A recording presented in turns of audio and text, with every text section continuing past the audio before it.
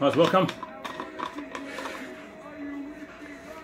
This thing that is bigger than my head, that's the gallon challenge. And there's a lot on social media about how much water that you need to drink in a day to stay properly hydrated. Well, the answer to that is it depends.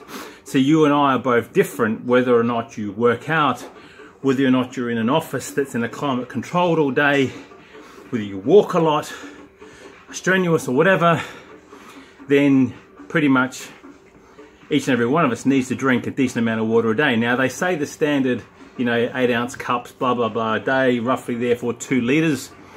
And for those of us that are working out or getting more regular activity, it's upwards of three. So there's stuff like 75 hard that talks about a gallon and then there's the other side saying that's too much. You're going to overhydrate and you're going to drown yourself.